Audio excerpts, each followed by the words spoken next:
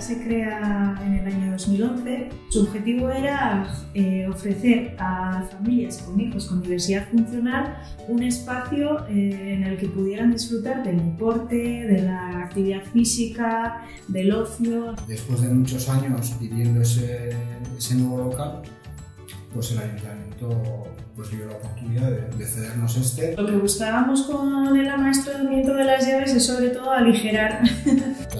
La sencillez de que tuviéramos una llave que nos pudiera abrir desde la puerta de entrada hasta cualquiera de las, de las salas que tenemos aquí, por lo menos para, para un grupo controlado de, gente, pues la gente de la, de la coordinación, directiva, etcétera.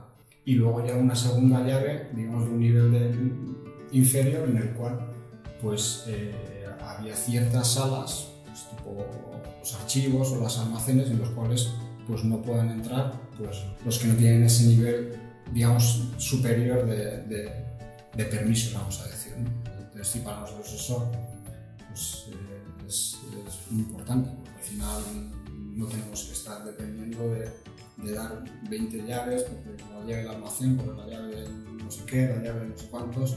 Pues que ahora con una única llave entramos desde la entrada hasta aquí.